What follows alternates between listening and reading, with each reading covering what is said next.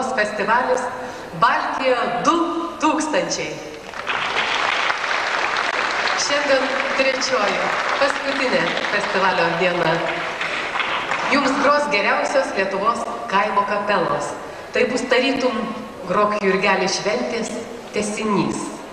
Na mes visi pripratę, kad grok Jurgelis kažkada būna lapkričio mėnesį ar tai gruodžio mėnesį, kai pučia žvarbus vėjas, kai šalta, kai siaučia Anatolijus arba sniegas sniegas. O kodėl negali būti grok Jurgelis šventė? Skaidriam dangui švytint, jūros bangoms ošiant, palangoje. Kodėl negali būti? Gal taps tradicija ir gal bus vasaros grok Jurgelį. Na, aš nesu šios šventės specialistė, nei vedėja, todėl aš norėčiau pasikviesti šią sceną nuolatinę, ilgametę Grok Jurgelio šventės šeimininkę. Pasitikite, Stefa Navarnaitėnė.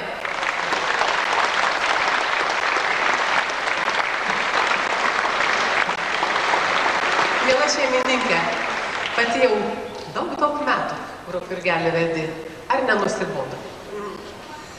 Koks klausimas, ar gali Jurgelis nusibosti? Aš Nijolė tau ir žiūrovams atsakyčiau poeto drėgmos žodžiais. 30 metų, o Jurgelis dar jaunas, išūkdė, išaugino jį mylimas Kaunas.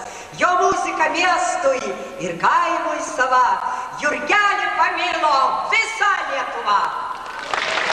Šaunuolė, tai ir pristatyk smuikininkus, armonikierius, dainorėlius, kviesk jos čia. Sėkmės. Na kągi, mėlyjeji, ačiū, kad jūs nepasididžiavot. Ir šį vakarą muzikantams taip salės skliautai pasikilnotų. O nuo jūsų dainų suoštų čia visi medžiai pagal visą Baltijos pajūrį.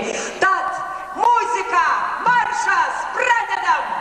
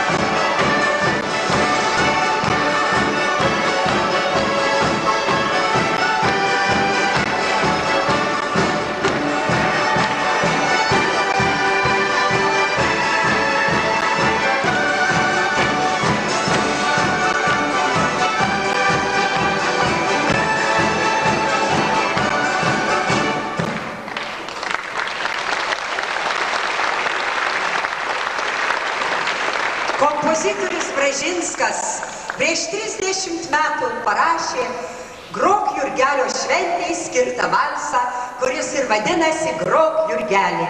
Jį šį vakarą diriguoja Vilimas Malinauskas.